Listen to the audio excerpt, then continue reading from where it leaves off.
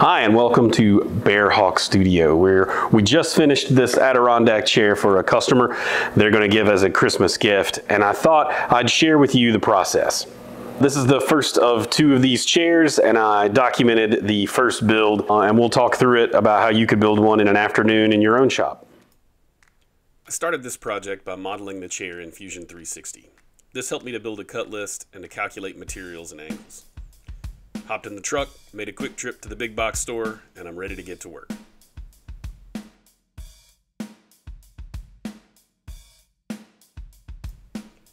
I'd start by cutting the base of the chair. Be mindful during this step of any imperfections in the wood. Plan your cuts around what will make the outside faces of the finished chair look the absolute best.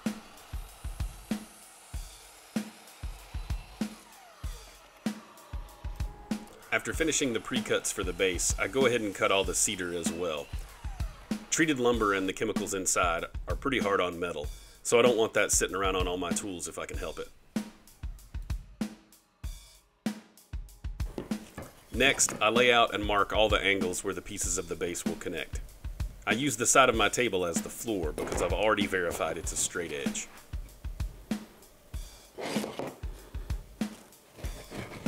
Even though these inside joints won't be visible, resist the urge to just put deck screws in all willy-nilly.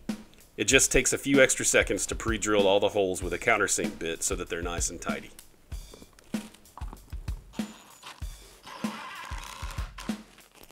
Once you've verified all the angles and got everything marked up, go ahead and assemble the two sides of the chair with your two and a half inch deck screws. Bada bing, bada boom. Bada bing, bing, boom. And now we can attach the front and back braces. The front is the easiest since it's just straight across, and will provide stability as we get the angle on the back brace marked and pre-drilled.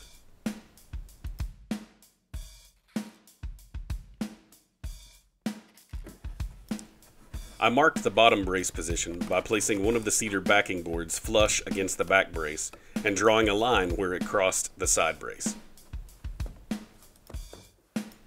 Then I just wedge the bottom brace in, drill the countersink holes, and secure it with deck screws.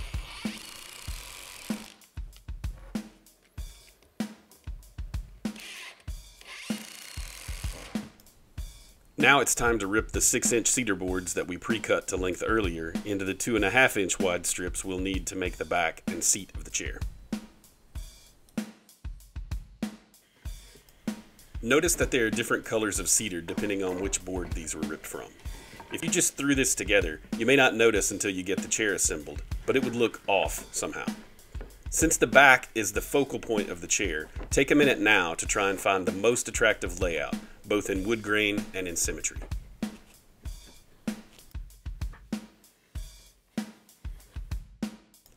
I use this scrap 2x4 and the straight edge of the table to make sure the back slats are all even before I use the compass to draw the arch for the back. If you're making more than one chair for the same people, I suggest making sure and lock that compass or document the angle you're at so you can save time later and ensure they all have the same arch. And if you think they won't notice that the arches are different, I can assure you that everyone who steps into their yard for the life of these chairs will say, Your chairs are crooked, so save yourself and your customer that embarrassment and plan ahead.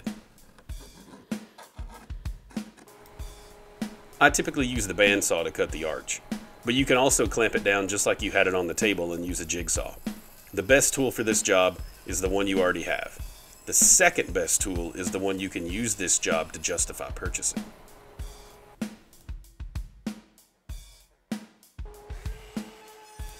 Next, we'll use the router table to give all the human touching surfaces a nice rounded edge.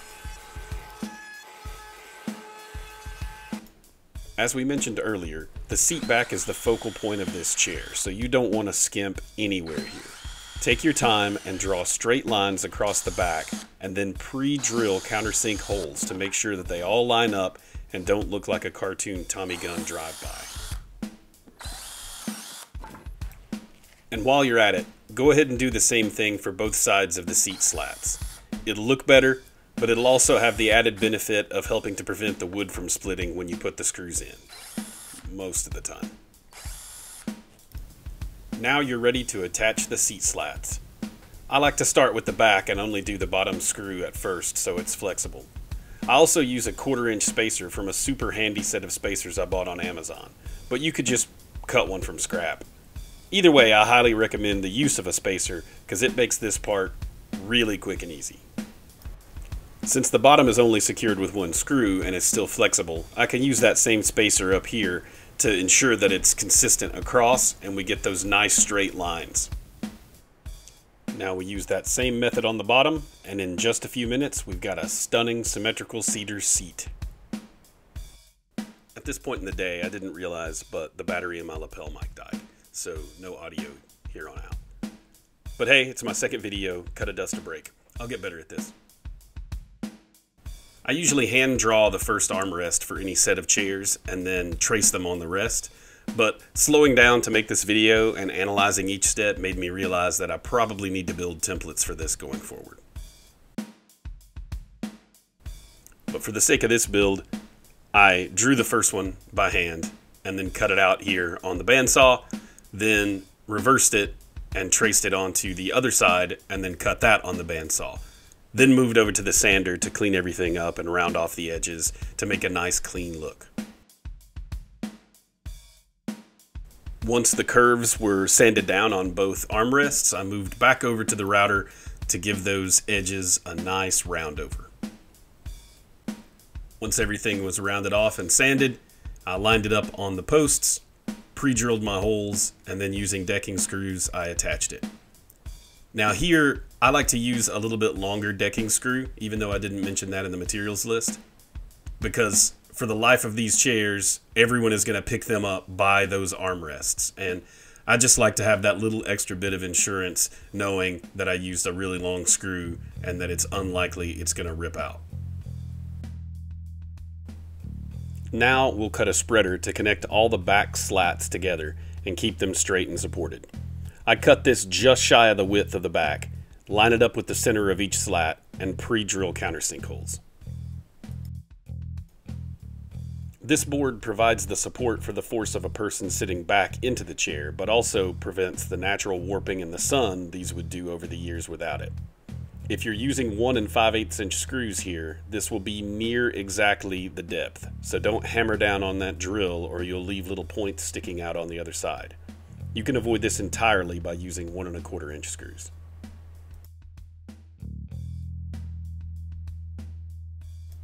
Using cutoffs from the base, I cut a couple 45 degree angles and pre-drilled holes using the drill press. These will support the armrests from downward pressure.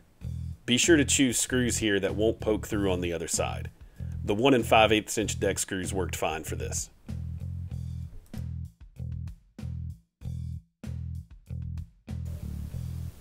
I always ask if the client is right-handed or left-handed because one detail people love is having a dedicated cup holder built into the chair.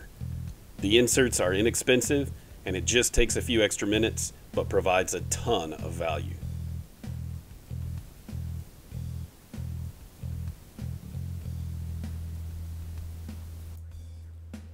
The last thing I always add is some kind of backing plate. For these chairs, the customer wanted their names. But sometimes a customer will want their favorite sports team or a picture of the state. But either way, it adds a level of personalization that really makes the chair theirs. And that's our finished chair. Beautiful, comfortable, and built to last.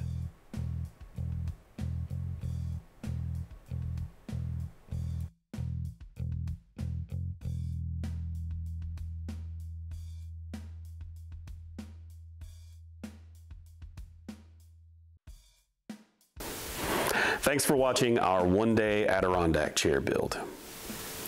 I hope you learned something, but more importantly, I hope it's given you the confidence to get out and build something yourself, whether it's this chair or something else.